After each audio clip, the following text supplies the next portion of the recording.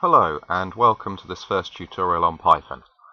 Now once you've installed Python you'll have the idle editor which you can open and use to make some code. So if you open it up you'll see first that this window appears. Now this is the shell. This is where you see your programs running and you can also use it for typing single lines of code. So I'm going to first show you how to print a text message to the screen. We do this simply by typing in the print command. It's all lowercase, no capitals there. Open up a bracket, open up a speech mark, and now we can type a message. So hello everyone. Put in another speech mark, another bracket. Now that's vital. In Python, if you open a bracket, you have to close it, and if you open a speech mark, you also have to close it. And any text you want to print always has to be between the two speech marks and also within the two brackets. Now to run this line of code I simply have to press enter and as you can see it prints my message. Perfect. But what if I want to write more than one line of code? To do this we'll have to open a new window. We do this by pressing file and new window and as you can see this new window appears.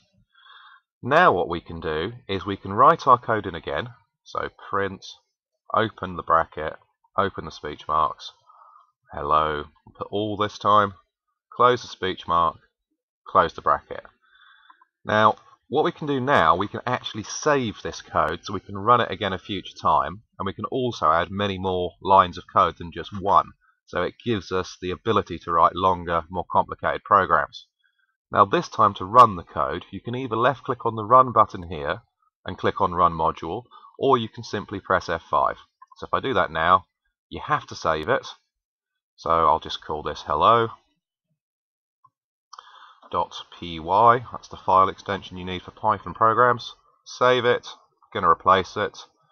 And as you can see, it works perfectly. We got hello all printing to the screen.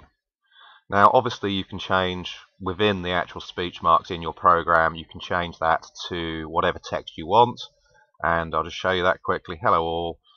How are you today? Question mark. There we go. Let's just put a little bit of comma in there. If I run that again, you'll see that the text changes. There we go. Hello all, how are you today? What I'd like you to do is have a play with this, try getting some text printing to the screen, and then in the next tutorial I'll show you how to make a variable and then print the contents of it, which will then allow you to start making more complicated programs. Hope you enjoyed this first tutorial in Python, and I look forward to seeing you next time. Bye for now.